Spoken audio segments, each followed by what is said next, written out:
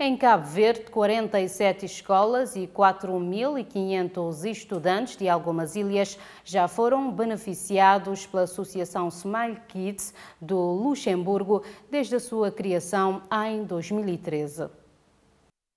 A organização Smile Kids está a apoiar crianças em Cabo Verde a partir de Luxemburgo com kits escolares que, segundo o presidente da associação, é muito importante para irem à escola em boas condições. Já lá vão 10 anos que a organização apoia crianças no país. Nós já apoiamos 4.500 crianças em 47 escolas em diversas ilhas em Cabo Verde.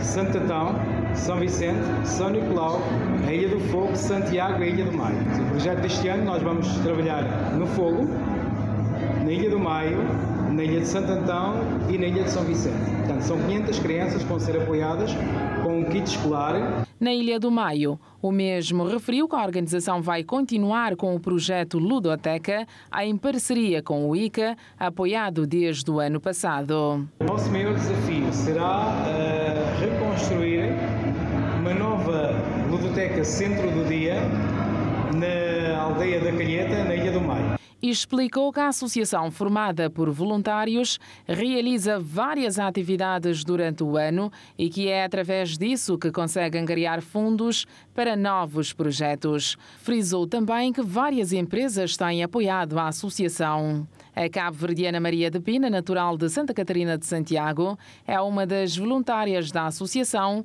há sete anos. Dentro daquela associação, o Amor é uma associação que é verdadeira. É uma associação que jura de criança na Cabo Verde. É uma coisa sempre que a gente sabe que nós não sabe, bem tinha nove anos e a sabe onde que deixa Cabo Verde.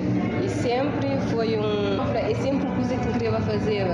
Tudo na minha vida, ele compra. Ah, não, tem que estar participando. A Associação Smile Kids acredita que cada criança tem direito à educação, independentemente do local onde nasce ou vive, por isso trabalha no sentido de dar possibilidades de acesso ao ensino desde o pré-escolar, refere o presidente Jorge dos Santos.